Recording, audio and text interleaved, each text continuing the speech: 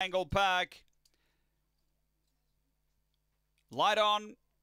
Set to go. This is race six. Ready. Shadow Burner, a dollar forty-five.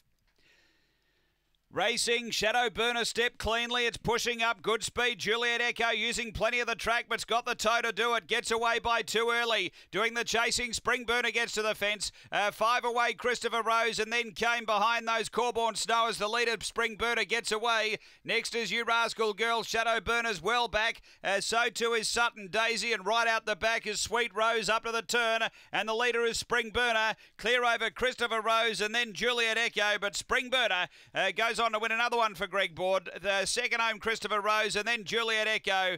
Next, Corborn Snow, Shadow Burner, You Rascal Girl. Uh, then we had Sutton Daisy and uh, Sweet Rose back at the end. The time is around 30 seconds.